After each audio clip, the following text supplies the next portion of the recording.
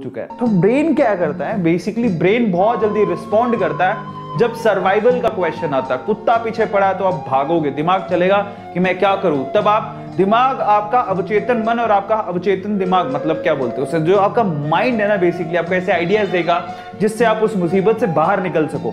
तो जब सर्वाइवल का क्वेश्चन आता है ना तो आपका दिमाग है ना बहुत तेज भागता है। आप देखना मेरे साथ तो बहुत बार हुआ है। लाइफ में ऐसी ऐसी सिचुएशन में फंसा हूँ मैं कि आ, ऐसा लगता था, अब गया गया गया। पर मेरे साथ खास बात है, मेरी किस्मत है ना। मैं हमेशा से बोलता था, मेरी किस्मत है ना टाइम पे काम, बिल्कुल एंड टाइम पे काम करती है। बिल्कुल एंड टाइम पे जब पता लगता है कि अब तो ये मरने वाला है, पकड़ लो इसको, तब जाके काम करती है। अदरवाइज़ मेरी किस्मत काम नहीं करती थी।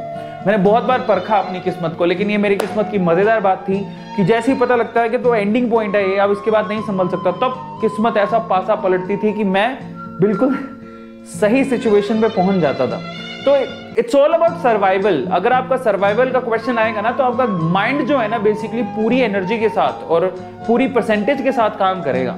सो so, इसका मतलब क्या होगा? दिमाग देखो जब दिमाग में आलस होता है तो दिमाग नहीं काम करता। लेकिन दिमाग जब सिचुएशन में फंस जाता है जब सर्वाइवल की बात आती है पता लगेगा अब तो भैया हालत खराब होने वाली है। तब दिमाग बहुत तेज़ी से चलता है और काम करता है।